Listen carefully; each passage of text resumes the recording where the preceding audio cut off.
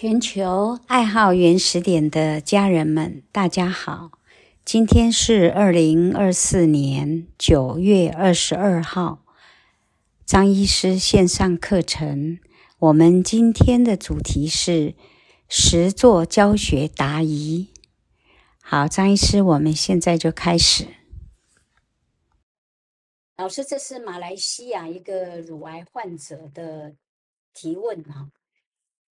他今年是六十岁，他是在二零二零年的时候发现乳癌的肿瘤，当时是像核桃一样不痛不痒，他都有上网看关于原始点乳癌的视频，他是没有人按推，那么他是一开始他就按推患处，那么他柱体伤他用人工手轴。然后他喝的是用姜粉泡的姜水，然后只有喝一两杯。温敷呢，只有两个小时。一直到二零二一年，那有人指导他说喝的太少，他就改成四十到五十克一天，温敷两个小时。那个时候的乳癌还没有爆开，体力也很好。然后到了二零二二年的时候，八月个爆开，爆开的时候就开始出血，还有组织液。他用姜汤清洗伤口，然后他还有撒薄薄的姜粉，伤口旁边他放姜粉泥敷，背部呢也放姜粉泥。当时的情况，他是每天四五次这样涂姜泥操作。但是组织液不停的流，有异味，出血也很多，很累，想休息。那么休息了以后呢，他体力又恢复了。他每天吃红参十多片，然后干姜片，晒太阳，做上背部的运动，还有甩手。但是他的肿瘤好像是整粒从里面这样整个跑出来，好像要脱落的感觉。那么在期间他是流很多血。流完以后呢，就脸色苍白，也比较累，想睡觉。但肿瘤呢就变软了，那他变软，他就很开心。他也曾经在两年前有询问过张医师，我记得那时候张医师也有告诉他不可以撒姜粉。然后现在呢是二零二四年八月，他说他身体的状况很好，也没有体力不佳。那他现在周围都没有痛点，然后他用姜粉泥去按推周围，之前有一点痛点，但是后来按久了就都没有痛点了。他每天都有吃姜粉泥，然后每个礼拜 YouTube 的新视频他都有看，然后有讲什么新方法，他都会跟着去照着做。那。他都是没有人说明，都是他自己通过视频学习的。现在偶尔呢，他还是会有组织溢流出来，然后肿瘤旁边的乳房呢都是软的，已经三年多了。两年前他那时候是喷血水很多，隔两三天就喷一次，每次大概一百到两百沫的血水。幸好就是两三个月以后就停止，就没有流那么多的血水。那家里的人建议他做化疗，但是他是选择原始点，也坚持到最后。现在他先生呢也学了原始点，也帮他按推。那以前的痛点有慢慢减少。嗯，他都用甩手运动啊，做家务，像正常人一样。他每天也都很努力的用姜粉泥在搓揉，但是呢，就是不脱落。他现在是想请问张医师，是不是这个肿瘤只是一个状，不需要在意？但是他是想让它脱落，因为这样子就比较方便做家务。但是他就是不脱落，好像就是有觉得有一条筋。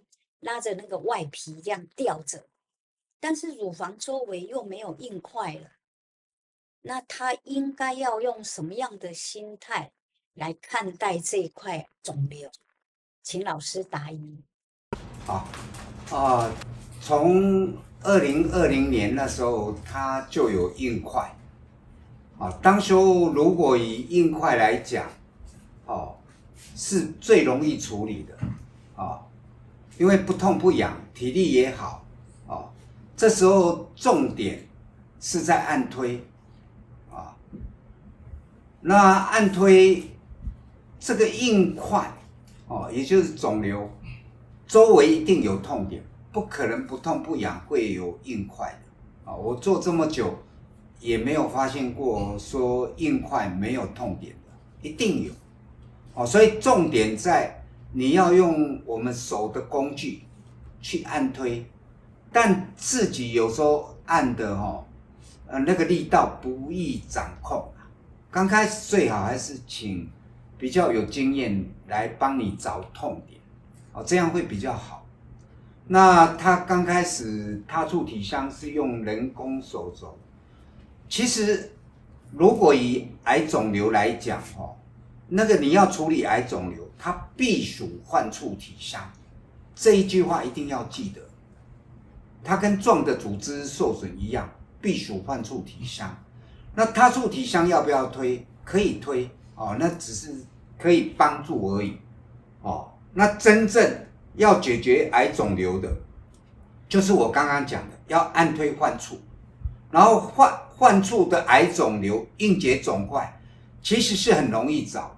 它不用在在什么上面呐，上下左右啊，哦，还好像还找不到，不用，它就是在肿瘤周围，就是这一圈的根部，你只要顶进去，好，力道稍微用一点力，哦，就可以把整圈找一遍，那一般都可以找到痛点，但如刚刚我讲的是比较大，是从根部。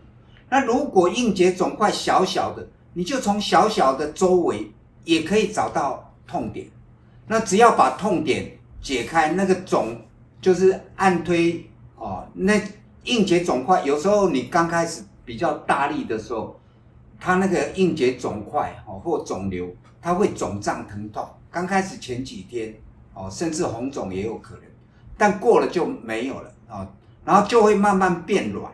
然后变软之后，它就慢慢缩小，甚至消失，哦，所以这时候的处理哦，其实变得很单纯，因为它体力很好嘛，属于轻症嘛。那这时候重在手法，然后热源为辅，所以根本不用考虑热源的问题，哦，就是要喝姜粉、泡姜水这这一类的。其实偶尔喝一下就可以，因为你喝姜粉、姜水，哦。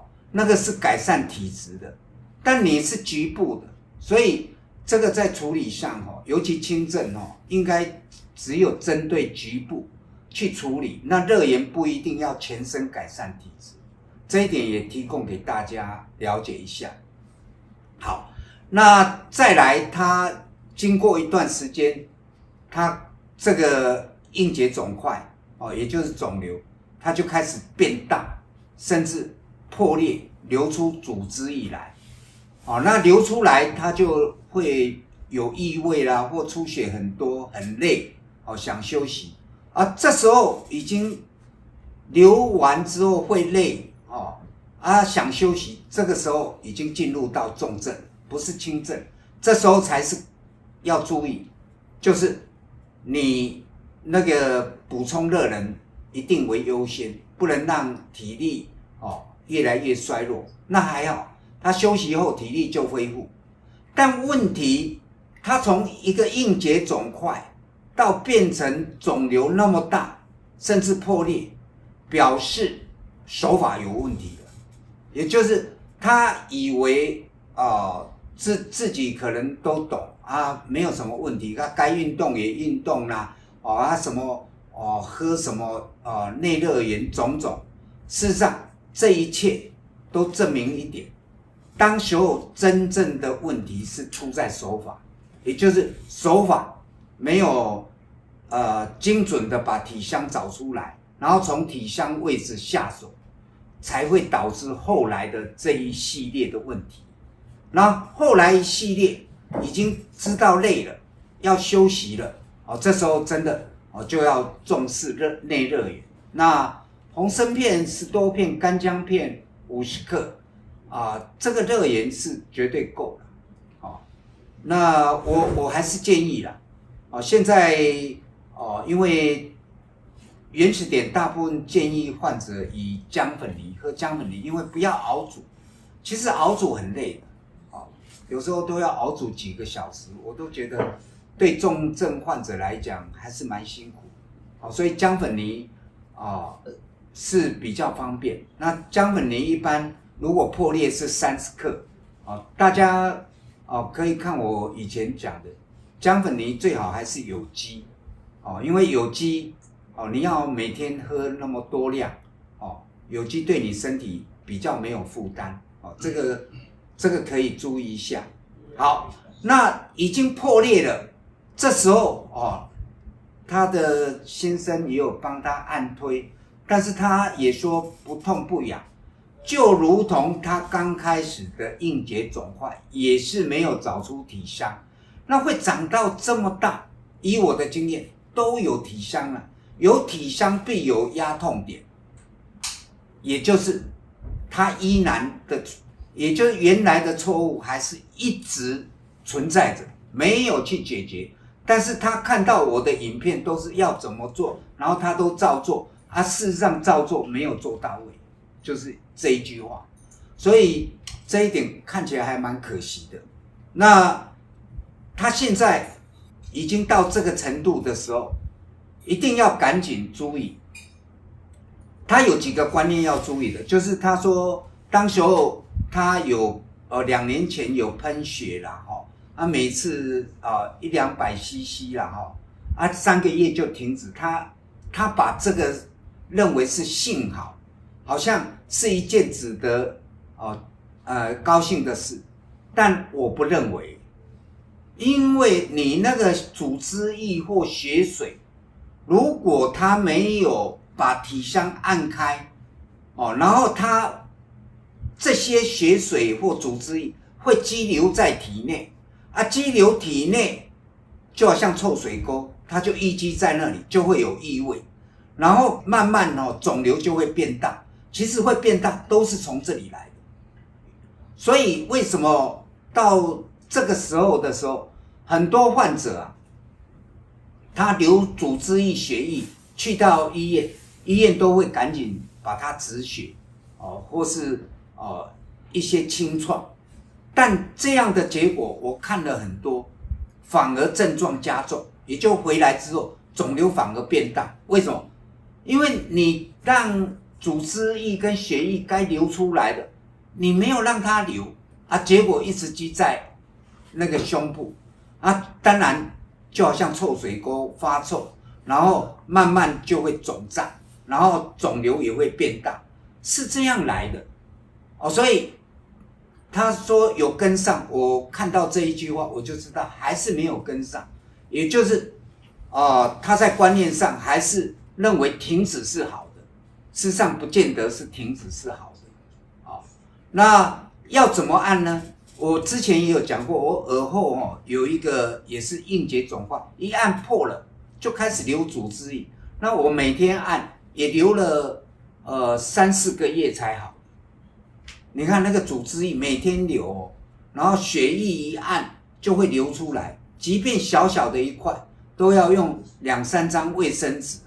所以我自己也经历过，哦，所以但是我清楚，我不怕，我不担心，所以我爱每天就是好，你要留我就给你留，但是我每天爱，哦，那它该流就会流出来，哎，这样肿瘤硬结肿块它就慢慢变软，然后慢慢消失了，哦，所以这一点，哦，我我希望你能了解。那另外哦，现在这么大。再按下去，如果您有找到痛点，以我的经验，还是会流出血液跟组织液来。你之前不敢面对的，将来还是要面对。所以你不让它流出来，你说要脱落很难了。它积在里面，啊，好像这个肿瘤有一些哦，这些组织液跟哦这些血液积在那里，营养它，它怎么会脱落呢？怎么会消失呢？哦，然后你说还有一条筋，好像吊着，哦，吊着外皮吊着，那那那你一定有体伤了。那个被吊着的那种感觉，不管哦那个胀痛闷哦，甚至哦痒刺这些感觉都还是有体伤。那这些体伤哦，如果有这种吊着，你他处找找看，哦那种感觉不适感，他处也可以找。但我建议。患处体相一定还是要解决，哦，只要乳房有硬块，就一定有压痛点，不可能没有的。记得我这一句话，哦，所以你说都没有了，我真的已经知道你的手法应该是出了很大问题。那你现在为今之道就是继续喝内热源，因为当你已经破破掉了，就由轻症到重症，这时候要注意就是。体力继续维持，因为你现在体力还不错哦，这一点是可喜可贺啊，哦，就代表哦短期没有什么危险性哦，但是因为已经流血液或主将来按推的时候，它会继续流的时候，你又会累的时候哦，所以一定要注意补充热源，还有锻炼体力，这是对的。那按推的部分，我还是建议。啊，找个比较看看哦，那个有经验的人来帮你找，一定可以找得到。那这样你就比较有方向感。所以我的建议哈，就是赶紧找了。那这一部分可以请教哦，就是基金会官官网哦，他们会看你们你在马来西亚看附近有没有人学过哦啊，基金会如果了解的话。也不也可以推荐给你，哦，那这样哦，你再做一段时间，我相信，只要按推到位，哦，然后那个组织记得哦，不要清洗，哦，那用电热吹风机哦，把伤口吹吹干，保持干爽就好了，哦，不要包扎这一这一类要注意，哦，那只要懂的人，他一定会告诉你这这些哦细节。然后按推的部分哦，一定要把先生带过去，顺便学，因为你这个哦手法还是蛮重要。啊，内热炎还有锻炼运动，这些都是你还是要持续的。那维巾知道，就是官网应该会再看看你，如果有需要再推荐看看有没有哦。最近这些手法按推。哦，乳癌的乳癌还是有一些特哦，啊那个怎么应用手的工具，还有怎么按推，哦这些真的要学，要不然一般这样按哦按不进去，还是会问出问题。这是我的建议啦，就是赶紧还是要联系哦比较懂的人。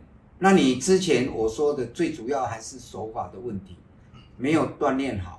然后痛点没有找出来，一路让肿瘤到这个这个田地，那这个还是要从手法下手。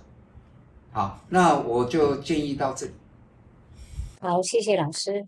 那我们接下来，老师这个是香港，他们有问一个肝癌的问题，有一段视频，我们先播放一下，那再请老师给他们指导。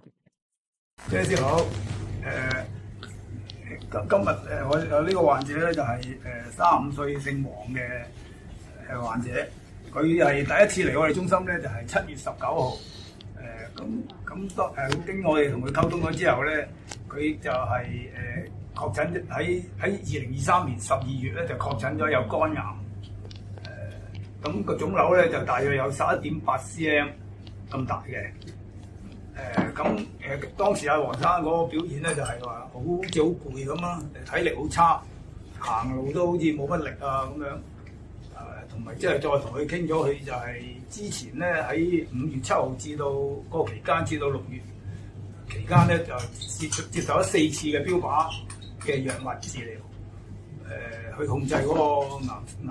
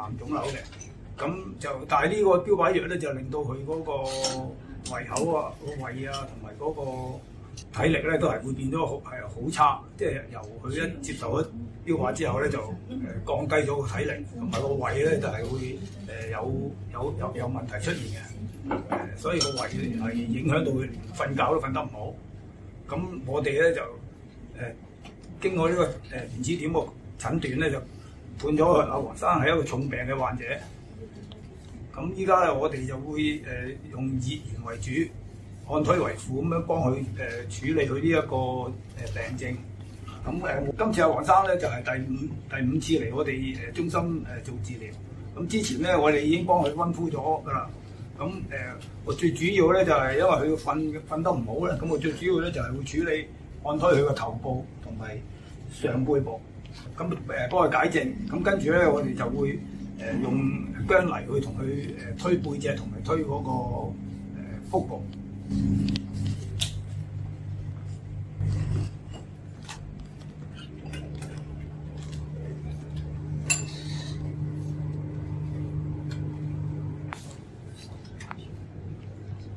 好。要啊，要熱。个同要同痛同嘅。嗯。黃生個痛點咧，主要咧集中喺左邊嘅上背部，差唔多誒有成五六點都痛啊，係啦。咁依家咧我就開始誒佢誒推姜啦，誒推完誒背脊個姜泥之後，依家就因為佢個肝咧，我喺環處度都會同佢推一推個姜泥，同埋揾一揾嗰個睇下有冇痛點。而而阿黃生咧，因為佢咧喺嗰個。誒膽管嗰度咧就係有一個支架嘅，所以誒喺呢一個位置咧就唔可以太大力誒壓落去。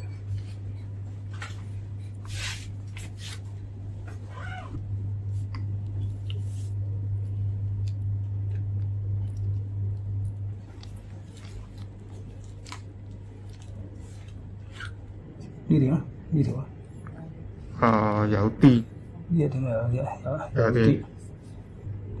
呢度有有，睇下呢边有冇？呢個冇，呢個冇冇乜？呢個冇乜。有啲呢度有啲。咁呢个咧就係喺兩個肋骨嗰度咧都會有啲痛點。系啦，黃咧今次係第五次嚟嘅，咁佢诶已經係改善咗一啲嘅，體力已經改善咗诶成八九成啦，咁誒。瞓瞓覺嗰度咧就改善咗差唔多七成啦，啊胃口嗰度都差唔多改善咗八九成噶啦，誒體力上又係係好翻咗好多啦，誒都係八九成到啦，咁誒誒呢個誒我依家同一個患者嗰個處理咧，請阿張醫師點評下。啊，老師，他操作的方式，要請老師點評一下。啊，這個應該是他在分享。我觉得他整个做法都 OK。第一个哈，我的看法就是这位三十五岁的患者黄先生哈，啊，他在去年底确诊为肝癌，他也做过一些化疗种种的处理，那因此而体力变差，胃口也变差，还有睡不着，大概就是这几个方向。那永泉把他诊断为重症是对的，已经就体力变差了，这个毫无疑问。那既然重症，当然就是以热源为主，安推为辅，所以整个的处理非常的到位，也就是，哦，因为你背部应该也有帮他涂姜本尼才对，哦，然后还有腹部，那腹部也。涂姜粉泥，我认为做的都还蛮不错。然后你找到还有热骨稍微上来，热骨下沿上来一点点。那这里有有一边有痛点，另外一边没有。那这个你用的手法在热骨用的手法是腕骨，腕骨也可以啊，因为这个我们在培训都有教各位，就是要轻巧。以患者能忍受，哦，所以这个你在按的时候，我有看，哎，也应该还可以，啊，患者也能承受。但是要注意，如果大力哈用软骨压，有时候患者肋骨哦，说不定会断裂。所以肋骨的地方非常脆弱，一定要小心。那因为他还有睡眠的问题，所以哦，永前也有帮他按推。头部，但头部我只看到按枕骨下沿，照理应该耳后也要按，哦，那这个才是完整的。可能影片它是不是截取精华？那整个的处理哈，我觉得都很到位了，我也没有什么特别建议。那患者也慢慢体力还有胃口，哦，睡眠都恢复了八成。那代表他已经哦，在往好的方面哦改善。这个患者一定要告诉他，好与坏，他因为他一直重视肿瘤，一般患者都是这样哦。比如他已经十一公分了哦，那十一公分他一直想把它控制住或变小哦，然后化疗之后反而付出的代价是体力变差。那以原始点的诊断。不是看肿瘤大小，而是看体力。体力如果好，就是改善；如果体力变差，表示这个治疗是恶化。所以在西医的处理以原始点的角度来评估，那那应该是恶化，所以体力才会变差。哦，那胃口也变差，那这这个就有生命危险。反而这样才会有生命危险。至于肿瘤大小，我书本上都有写，哦，跟症状还有生死无关，哦，所以患者这些概念也一定要清楚，这样在配合治疗上，哦，他才会慢慢建立正确观念还有信心，这样好的会比较快。那整个我觉得做的都蛮到位，表示香港在处理这样的患者应该。提升，也就是技术的提升，已经蛮多的，好，那在应付上也比较就是有自信，很好，哎，谢谢老师，老师那个肝癌患者啊，刚刚有想要请教老师两个问题，他说，因为他说肝肿瘤在体内，那表面看不到。那自己也感觉不到他的变化。他想请问张医师，就原始点的方法来说，他要怎么样知道他的癌肿瘤已经消失了？还有，他怎么会知道他的病是否已经医好？这是他的第一个请教老师。好，他问的很好，但是我就是最担心的还是他的观念问题。第一个，癌肿瘤不管是在体内或体表，它一定有痛点，也就是你一定可以找到压痛点。但很明显的，哦，在香港的时候痛点都已经找出来，哦，那包括腹部也找，背部也找，都有痛点了。那理论上来，原始点的理论就是说，你只要把痛点都。都按开了，那体香都已经没有了，哦，那个肿瘤啊，它就会变软，甚至缩小，甚至消失都有可能，啊，那这样的案例还蛮多的。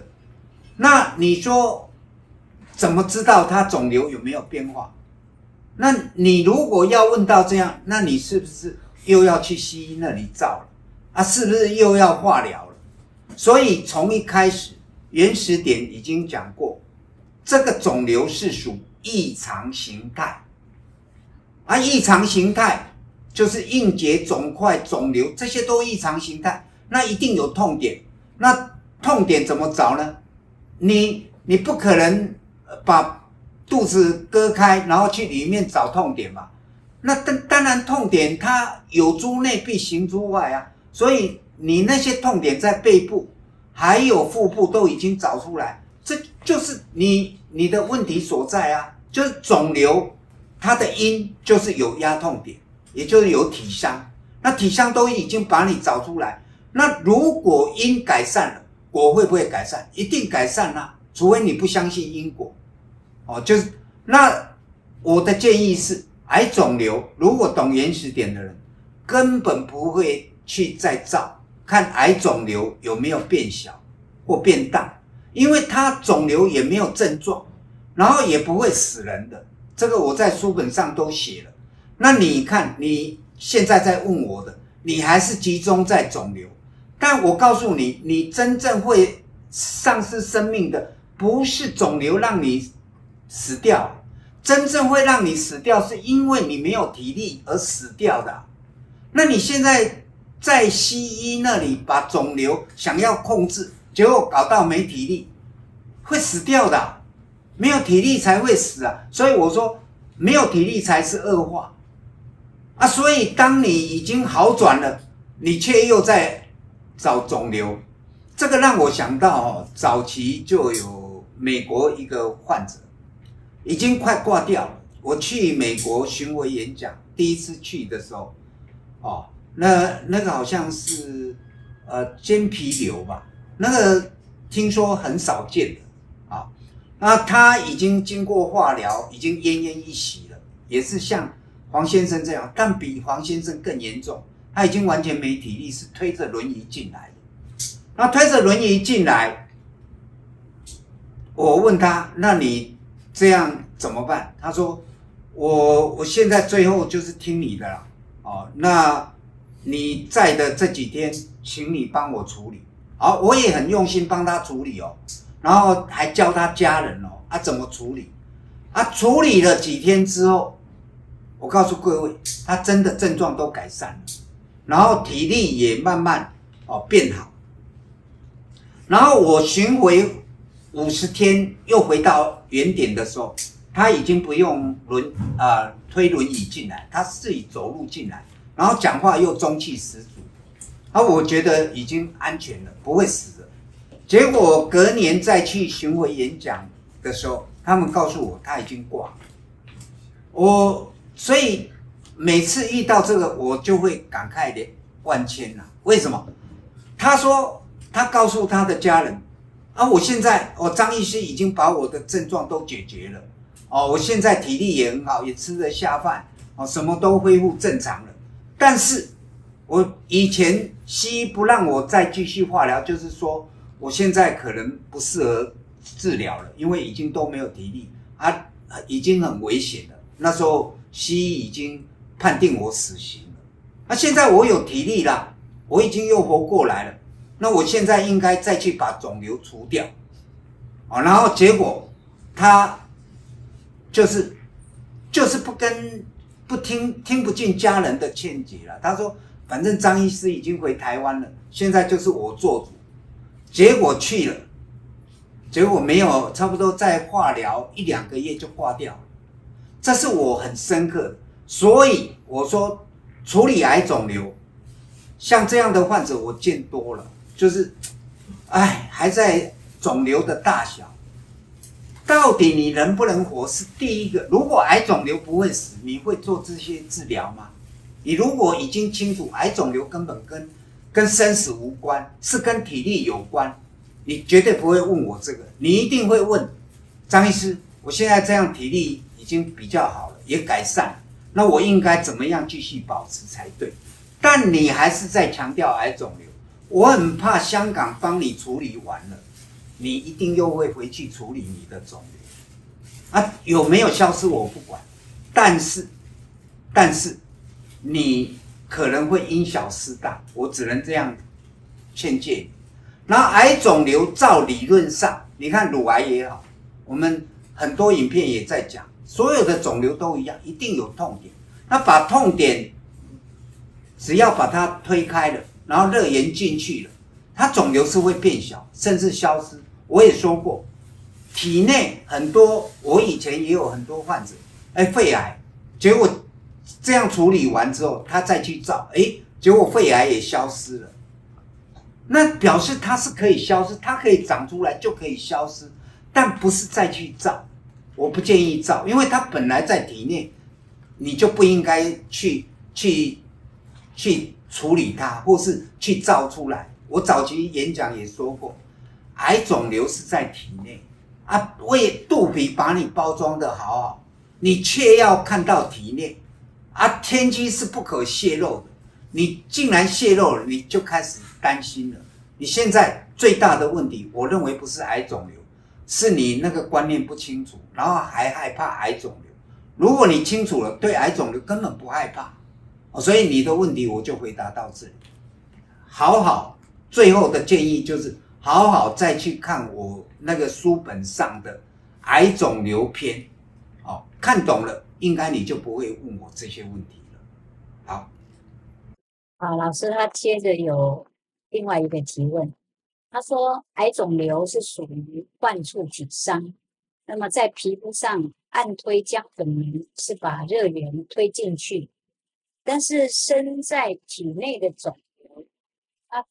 却不能被按推到患处止伤，那只靠按推它去止伤，配合热源，功效会否有所不足？应如何加强？好啊，照你的话，要不然把肚子拨开来，在里面揉，应该就可以按得到了，是不是一定要这样？我刚刚已经讲过了，你体内有。一定会行有诸内必行诸外嘛，那这个体香一定会有。我看过很多癌症都在体表都可以找到体香位置。那所谓的体香就是按下去，它可以让体内的组织器官恢复正常运作啊，这样还不够吗？所以你根本现在你问的一些问题，我书本上都有写，但你现在会有很多问题。表示你根本没有看我的书，然后来像这样的患者，确实我是比较担心的啦。那你说这样按推会不会到达患处体上？当然会呀。热炎经由皮肤吸收，不到体内，要不然到到外太空去吗？它会跑到体表以外吗？不可能嘛。当然就是被皮肤吸收渗透进去。那进去以后，热炎。它就会推动的组织器官运作运作，让你达到恢复正常，恢复正常运作，它就不会积在那里啊。它体香是可以修复啊。我全本整本书都在写，热盐进去可以帮助体香修复哎。啊，怎么会没有呢？嗯，所以我说这些方法都已经用到极致了。你觉得这样不足，那怎么样才足？我就不知道了。那应该怎么加强？我刚刚已经讲，香港已经做到很到位了，也没有所谓不到位的问题，那不就已经回答你了吗？哦，所以我的建议了，书本上癌肿瘤那一边一定要看啊，整本书最好再看一下啊。你如果停留在西医，你觉得如果觉得啊，西医的概念是要处理癌肿瘤才对你有帮助，那就很简单啦。就再去找西，不要过来了。一定要，因为这两条路是不一样的。原始点不处理癌肿瘤，但处理体香，因为癌肿瘤是果。但原始点的讲法就很清楚，因改变了，也就是体香改变了，果一定会改变。但我刚刚已经找，呃，就是第一个影片，我已经回答你，因改变，果一定会改变。那我现在在帮你处理因。你又会怀疑啊，是否会不足，是否还要加强？那我也不知道。你对因果是不是真的深信了？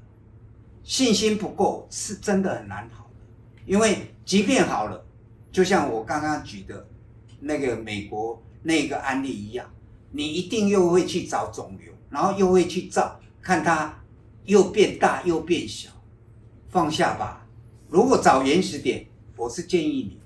不要再去裹上琢磨了，一定要懂得看透、看破，然后放下，然后好好的把身体养好啊！身体本来就有治愈力、修复力，你可以活到很久。就像我曾经去西雅图，有一个呃，也是子宫癌的，那个去的时候，他跟我讲，二十九岁他就被西医判定只能活半年。他当老师的，他就好放下，就去旅游，然后接接着开始运动，然后生生活改变。结果我去的时候，他已经超过快八十岁的了。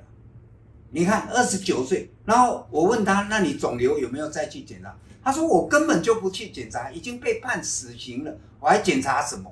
然后他就快快乐乐的活，反而活得久。啊，你每天都在想你的肿瘤。哎呀，我我觉得，这这个放不下才是你最大的问题。好，我回答到就到这里。好，我们今天的答疑先到这里。那我们还有很多，我们下个礼拜再请张医师继续，诶，回答大家的问题。那我们下个礼拜见。下个礼拜我们的主题还是实座教学答疑。